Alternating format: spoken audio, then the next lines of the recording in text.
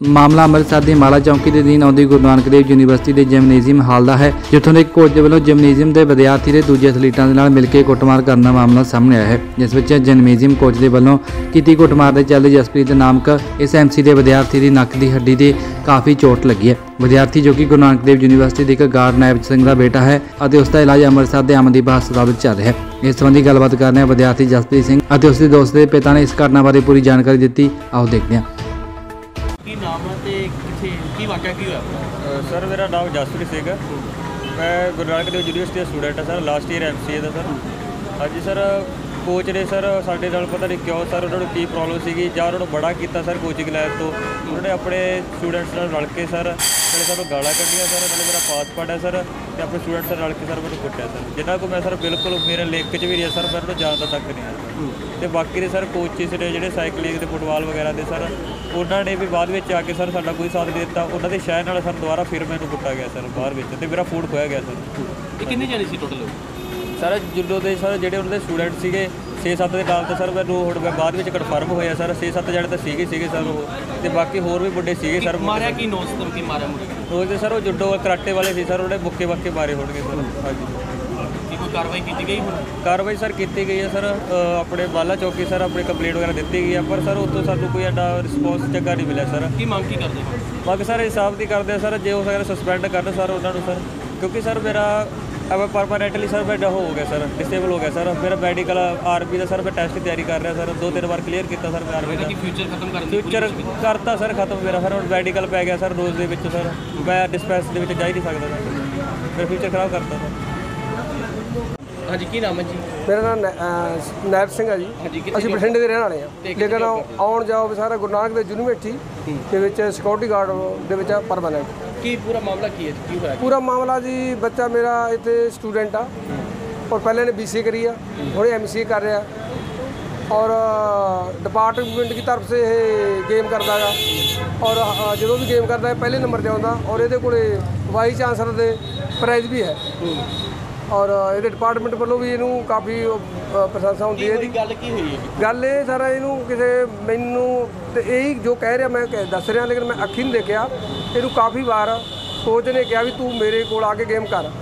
ਇਹ ਬੋਲਦਾ ਸਰ ਮੈਂ ਆਰਮੀ ਦੇ ਅਫਸਰ ਵਾਸਤੇ ਤਿਆਰੀ ਕਰ ਰਿਹਾਗਾ ਲੇਕਿਨ ਵੀ ਮੈਨੂੰ ਵੈਸੇ ਸ਼ੌਂਕਾਂ ਤੇ ਮੈਂ ਗਰਾਊਂਡ 'ਚ ਆ ਜਾਂਦਾ ਗਾ। ਤੇ ਉਸ ਤੋਂ ਬਾਅਦ ਇਹ 30 ਤਰੀਕ ਨੂੰ ਕਿਤੇ ਚਲਾ ਗਿਆ ਗਰਾਊਂਡ 'ਚ। ਤੇ ਇਹਨਾਂ ਨੂੰ ਬੁਲਾਇਆ ਉਹਨਾਂ ਨੇ ਕੋਚ ਹਰਮੀਤ ਸਿੰਘ ਨੇ। ਔਰ ਮੈਂ ਔਨ ਡਿਊਟੀ ਸੀਗਾ ਭਾਈ ਗੁਰਦਾਸ ਲਾਇਬ੍ਰੇਰੀ 'ਚ। ਸ਼ਾਮ ਨੂੰ 7:30 ਦੀ ਗੱਲ ਆ।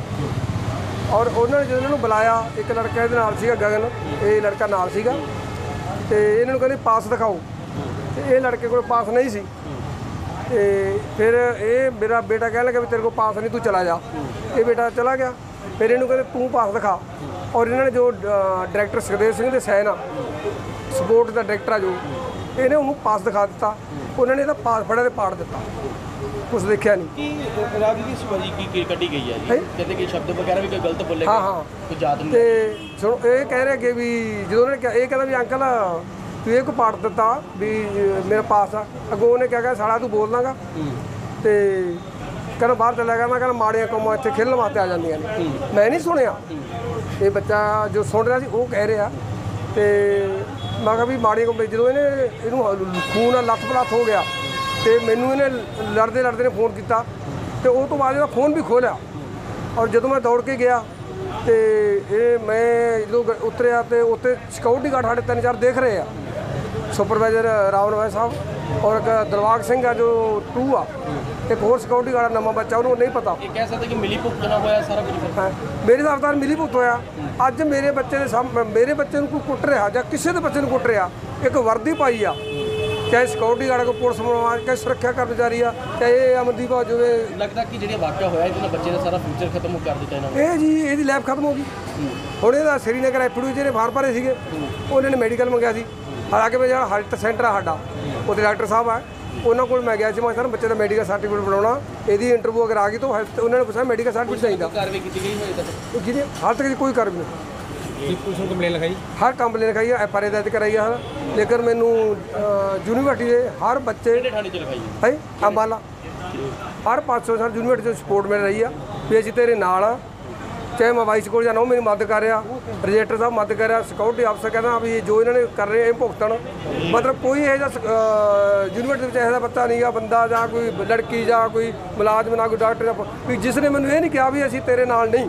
ਹਾਲਾਂਕਿ ਮੈਂ ਬਠਿੰਡੇ ਦੇ ਰਹਿਣ ਵਾਲਾ। ਉਹ ਮੈਨੂੰ ਇੰਨਾ ਮਹਿਸੂਸ ਹੋ ਰਿਹਾ ਕਿ ਮੇਰੀ ਅੱਜ ਇੱਥੇ ਇੰਨੀ ਸਪੋਰਟ ਆ ਤੇ ਮੈਂ ਹੋ ਸਕਦਾ ਮੇਰੀ ਨਹੀਂ ਬਠਿੰਡੇ ਨਾ ਹੁੰਦੀ।